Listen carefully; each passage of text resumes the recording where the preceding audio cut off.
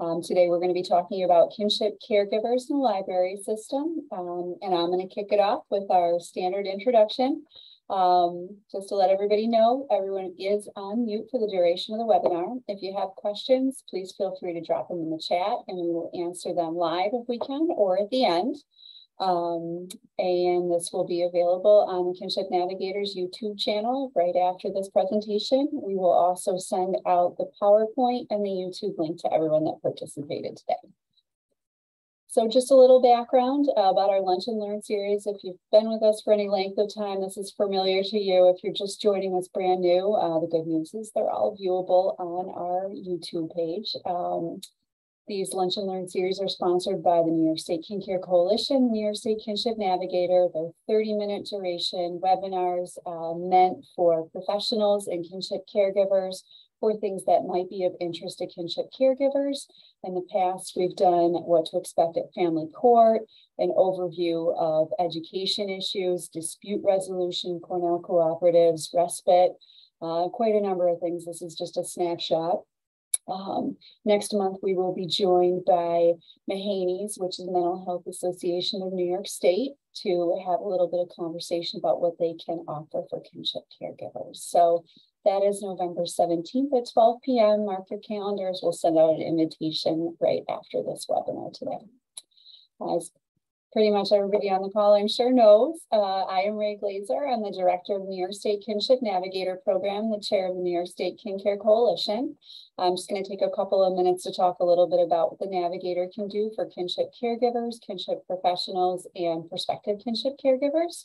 Um, basically, the Navigator is meant to be information, referral, and education for all of those people all across New York State. Um, so we have a helpline that we run Monday through Friday, uh, 10 to 4. We have a website, www.nysnavigator.org. Um, we have access to the Navigator via email, via online chat, and our whole purpose is to make sure that we can connect caregivers to resources in their area give them information on common kinship caregiving issues like access to financial assistance and information on legal advocacy. And we work with all local kinship programs, the permanency resource centers, local departments of social services to make sure that kinship caregivers are connected to services in their area. As you can see, this is a breakdown really of what our services do. Um, on our website, we've got legal fact sheets for kinship caregivers, over 50 cited legal fact sheets that cover um, basically everything that a kinship caregiver might need, information on financial assistance, the different legal options, enrolling a child into school, uh, changing a child's name, getting official documents, you name it, it's there. Um, we've got county resources, so we have a map that you can type in your county and the type of resource you're looking for. It'll bring up what's available in your area the helpline, as I discussed. Um, we provide education to professionals and to kinship caregivers, statewide presentations um, like this one, uh, and also Kinship 101 financial assistance legal options uh, to human services professionals. We have an online video archive that has all of these webinars, but also has our common PowerPoints like 101 and financial assistance, legal assistance, KinGap, right on our website. Um, and then we provide leadership for the Kin Care Coalition, um, where we come together with anybody that's got a vested interest in kinship care uh, to discuss best practices for programming, to discuss policy initiatives, and to educate legislators on the importance of kinship care. Uh, the Kin Care Coalition does meet monthly. Our next monthly meeting is November 15th at 12 p.m. Right on the Navigator's website is information about how to sign up for that. So um, we spent a lot of time talking about program best practices the last couple of months. We are now moving into 2023 policy season. So if you've got an interest in that, uh, we encourage you to sign up, join us. You don't need any special skills except for an interest and a passion for kinship care.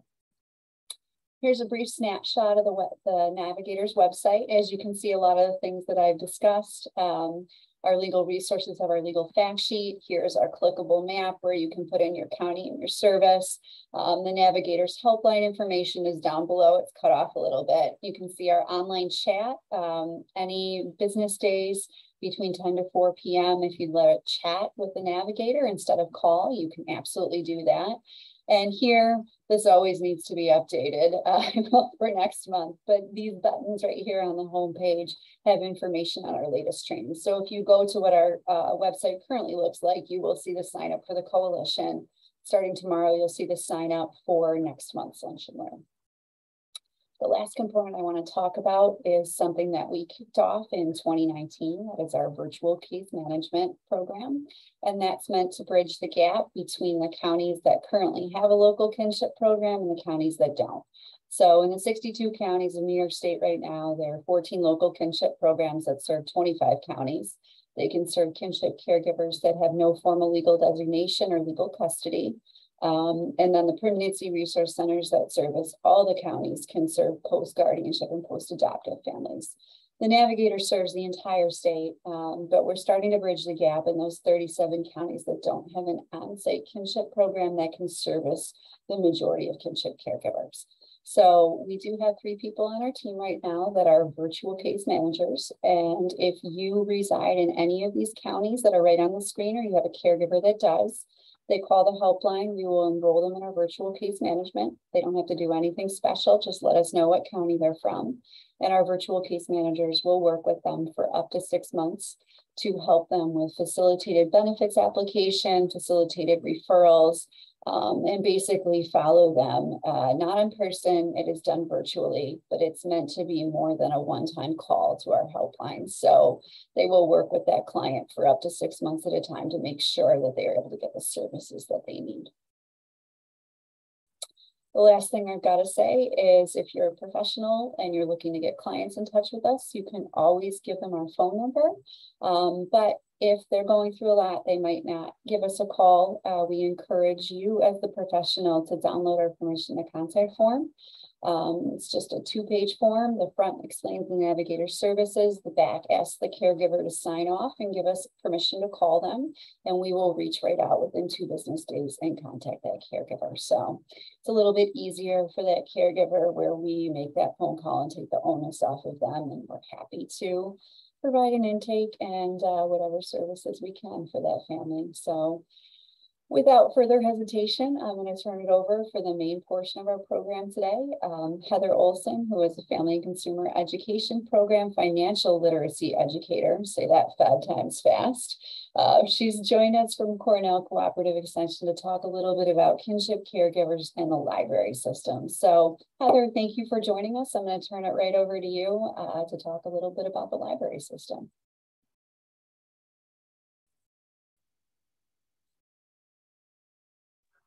Okay, at least I can unmute myself. I, my camera does not seem to be working, but um, uh, someone's already disclosing that they owe to the library. That's, oh, I'm not here to, to stir up guilt. Um, I can absolutely discuss um, any sort of monies owed to the libraries. Um, each library treats it a little differently, but okay, thanks for the opportunity to discuss one of my favorite pastimes serving on the library board. I didn't give him any money to discuss that. Mark, absolutely. You can participate in this discussion. This is more information. So I'm going to let Heather go ahead and start sharing. oh, go right ahead, Heather. This is a free lunch and learn. So um, yeah, it's it's not letting me turn my camera on. But um, I'm Heather Ohlson. Like uh, Rae said, I work for Cornell Cooperative Extension in Dutchess County, doing uh, family and consumer education. Uh, in addition to financial literacy, I also assist with our RAP program, and I do marketing and communication. In my spare time, though, my volunteer time, I also serve as president of the Friends of the Kingston Library Group located in Ulster County in the Hudson Valley region of New York State. Friends groups are part of almost every library system within the New York State. Uh, their goal um, as 501c3s is to support and enhance the services and resources each library provides to the, their community. They also advocate for resources and they fundraise. I inherited that and also served as Kingston Library Board President for almost six years within Ulster County. I do work in Dutchess. Uh, if you want to, let's see. So within the chat as we get started, I'm curious, um, why don't you, if you would be so kind, uh, share your first or favorite memory of your library experience? I'd love to see the diversity. New York State libraries are all part of the NYLA, New York State Library Association system, and it's affiliated with the American Library Association, and um, they serve as the New York State chapter of that national body. Members of, fill the chat, members of the state association include librarians, both public, um, system, school-wide, collegiate, and also university level, and many other um, special libraries, library trustees, uh, friends of the libraries like myself. From a membership of 43 back in 1890, the association has grown to a vital organization of several thousand members. I love it. I love it. i I'm going to point out some of these comments in a moment. Um, so it's representing not only libraries of New York State, but also including many other members, state and institutional from all over the United States. NYLA has always been devoted to the promotion of the library interests uh, around the entire state, and it has, to its credit, uh, contributed to notable systems and moderniza modernization of libraries throughout New York. Uh, it's committed to these guiding principles. NYLA advocates for New York library communities, uh, for the excellence within those libraries, and also to enhance member engagement. All right, so just a brief, um, we're all looking at the chat. Um, besides owing a couple of bucks to the library. Uh, first job was a computer page pre-internet at a library. Uh, our librarians were always some of the nicest people. That's true. They have to. It's part of the job description to be some of the nicest people. Getting my library card when I was nine, I felt so grown up.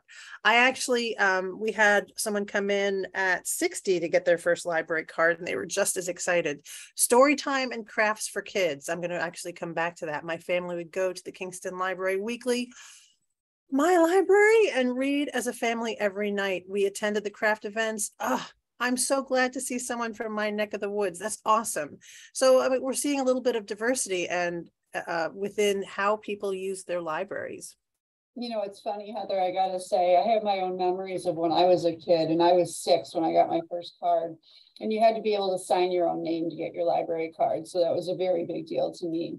Um, but now that I'm an adult, um, I love bringing my kids to the library because they do so much more than just take out books. I mean, they they're able to get books, but they're able to get like crafting supplies, like yeah, gonna... that they can take and um different activities for the kids that they hold every month. I'm sure that you're going to talk about that, yeah. but it's it, you know, as I get older, it's it's interesting to see what the library meant for me as opposed to my kids. And I see Lillian saying the li- the Libby app. Uh, yeah, I actually have that on my phone as well. Um, we did an event at the Kingston Library. Uh, we've done it for a few years. It was Chalk the Walk, um, literally doing chalk artwork outside the gates of the library where people would get a section of the chalk um, of, a, of the sidewalk to make artwork.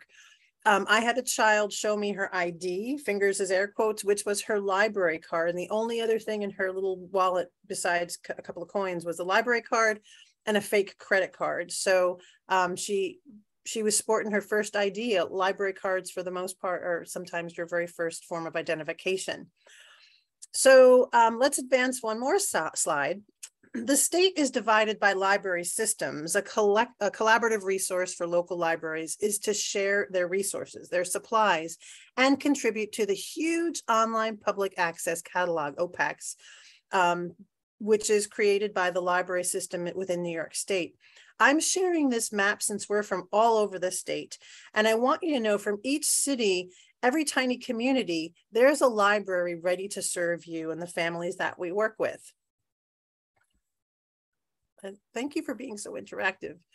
All right, so the link below, um, nysl.nysed.gov will bring you into more library resources and that specific link will take you to the same page that has this map. You can, it's interactive, so you could click on the map that will bring your region in play. And then from there, you can drill down to the libraries that are in your community. Although I'm sure everyone on the call already knows where, where their local library is located.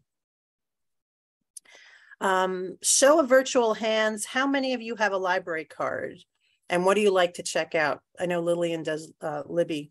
Uh, let's advance the next slide.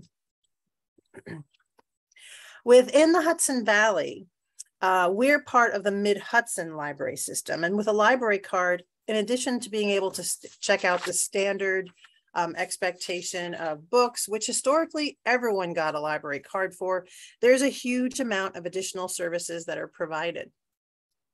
Fun fact, libraries love to collaborate, as you can see, obviously with other libraries, but also with other organizations and entities. So for example, within our program in Dutchess County, we've developed a wonderful relationship with the Pleasant Valley Library for our monthly WRAP family dinner meeting. A library is a great space to provide your own programming. It's obviously easy to access. There's parking, they have multimedia resources, restrooms, children and teen spaces, and a whole lot more. The Millerton Library here in Dutchess County also um, has uh, made sure the space is fully accessible and all libraries are making those adjustments in order to be able to provide for anyone's level of ability uh, and, and physical ability. So there's been a huge push within New York State, Kingston Library is one of them, um, to update uh, the architecture so that we're meeting the needs of, of anyone coming into that library. Um, there's listening devices, translation devices, as well as um, elevators and other uh, easy access for uh, any patron coming in. And when we think of these libraries as repositories of books, um, and literacy, which will always be part of library mission. Let's advance one more slide. There is a host of other resources, and this is really the meat and potatoes of our conversation. So our my example is the Mid-Hudson Library System, which services uh, Columbia, Dutchess, Greene, Putnam, and Ulster counties.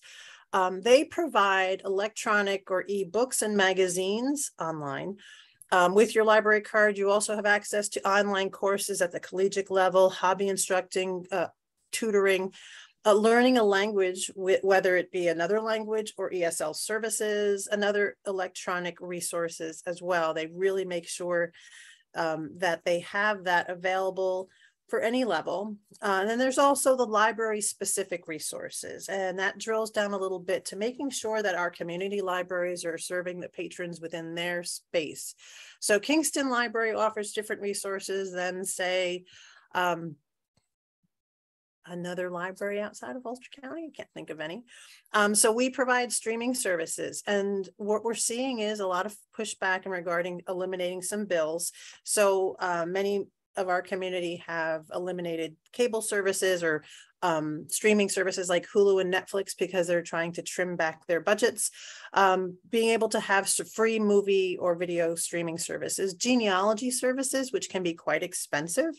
Um, we're seeing more and more popularity around genealogy, so that's available. Academic resources, we have um, we've partnered with Bard College to provide some some um, classes as well, uh, which is a, a, free service for working on a, some specific degrees and also some math classes at our library. So we try and provide academic resources. Also, libraries serve as uh, testing moderators. So if for uh, students that are homeschooled or they are required to take tests and they're testing or uh, going to online colleges, um, libraries can moderate and um, proctor tests.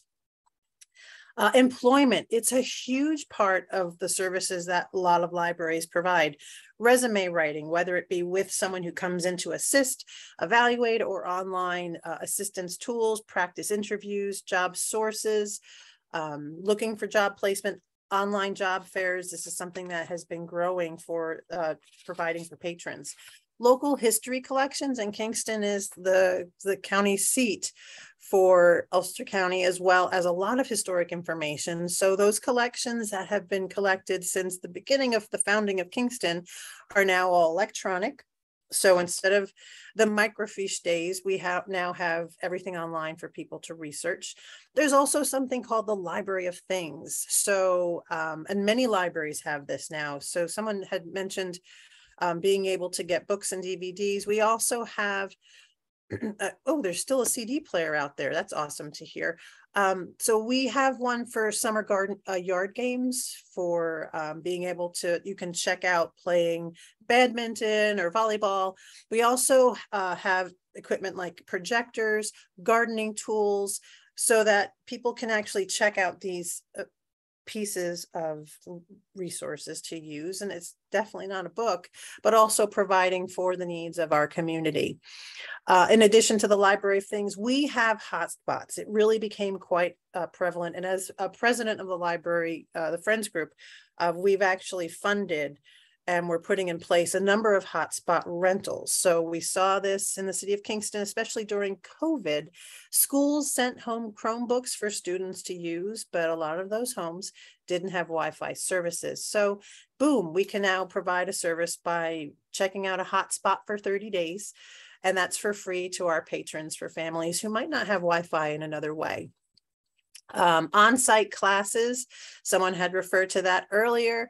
We have uh, such a diversity within um, our classes. So in addition to obviously the monthly book club, there's uh, crafts, knitting, uh, uh astronomy. Uh, we've had a, we've had a Lego program uh, come on and off.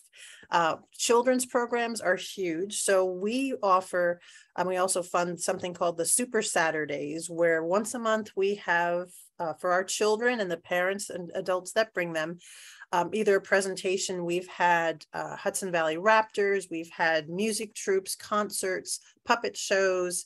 Uh, you name it, we have brought that into the building for people to share and experience crafts and hobbies are huge, especially if you have uh, tools and resources around them um, that might become kind of expensive or something that can be swapped.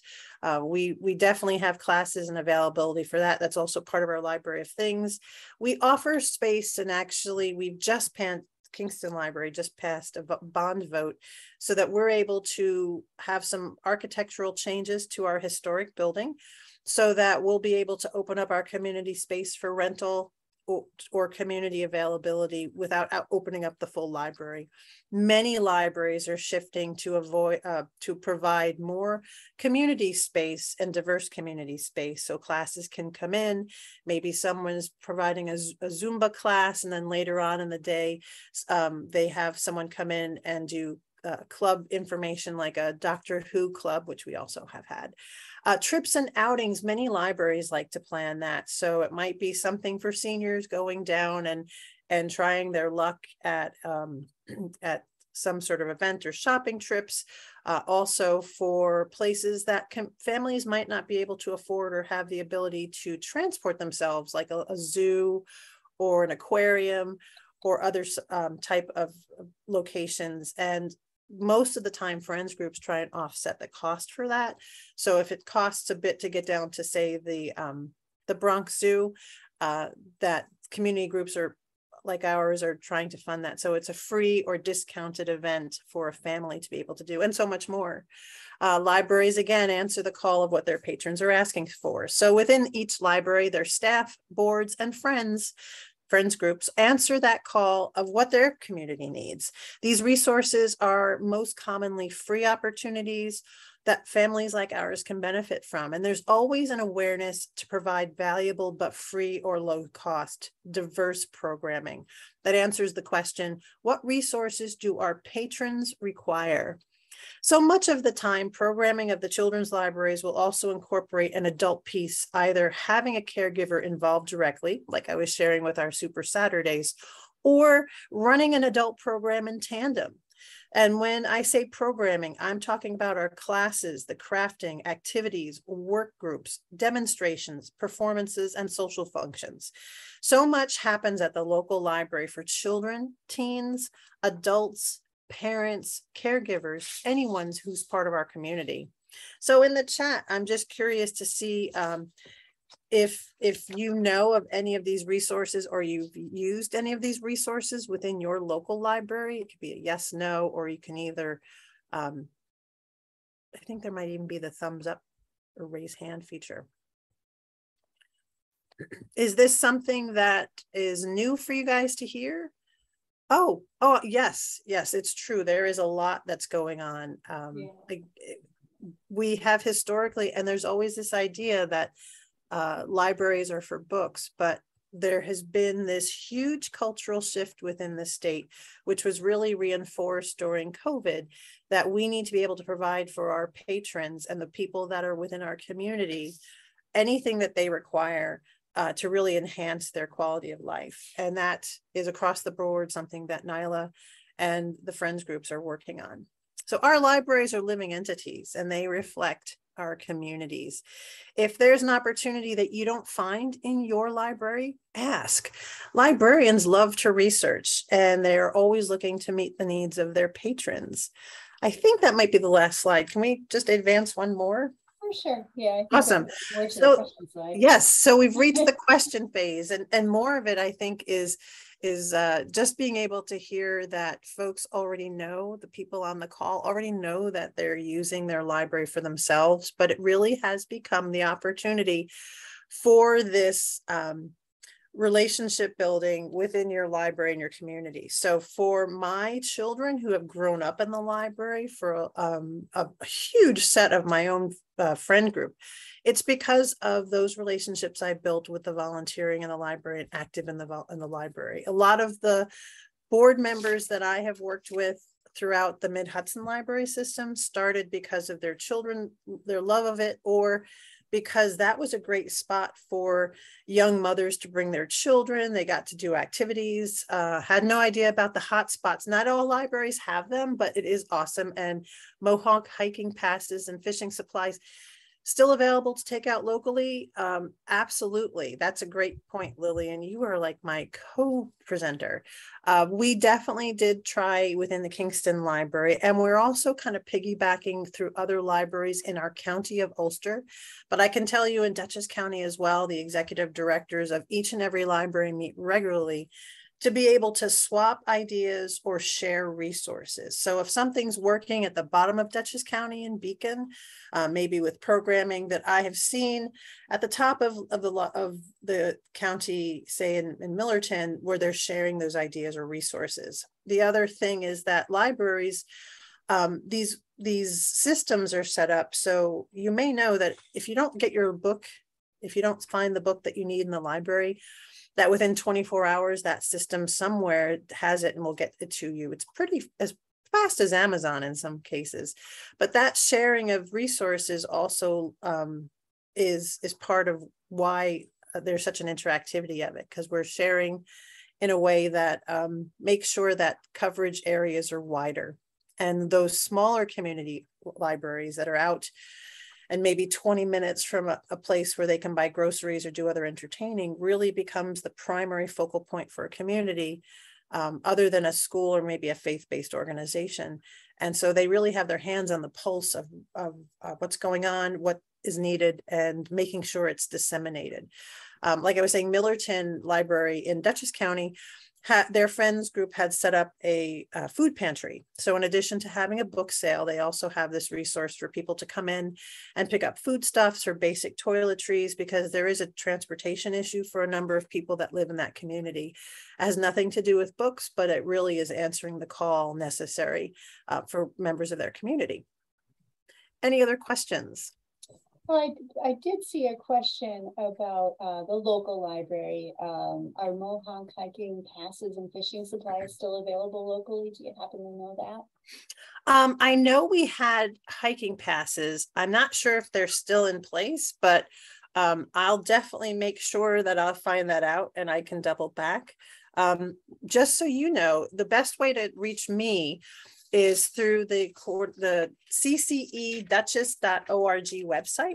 That's Cornell Cooperative Extension Dutchess.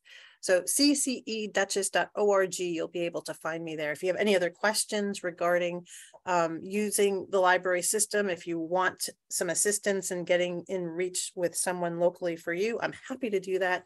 But that it will also take you to um, to show what we do in Dutchess County for our our RAP families. Heather, thank you so much for joining us today. This was really helpful. Um, I, I, learned some things about my local library that I had no idea, um, you know, and as a, a, parent and adult learner, I'm happy to put those into play. Um, and I'm hopeful that some of the professionals and kinship caregivers on the call see things that can be useful. Um, you know, I know with the weather getting cooler, it's sometimes hard to entertain the kids. And I think that this is really, really helpful to know that there's so many resources that are available to us through the library system. So Absolutely. And I, I welcome the idea for anyone to reach out to me, but just check social media. Um, libraries are really savvy and they make sure their events, their activities and promoting uh, what they're doing is, is right there already. So you might want to follow that as well uh, to find out your local library and what they're doing today, especially um, for the families that we serve. So thank you so much for the opportunity to brag about um, libraries. And I'm so glad that there's a common sentiment. Yep, absolutely. Thank you again. Much appreciated everyone on the call. Thank you for joining us. Uh, this video will be available starting tomorrow as well as the handout uh, PowerPoint from today. And we will see you next month for Kinship Caregivers and MHANYS. Have a great day.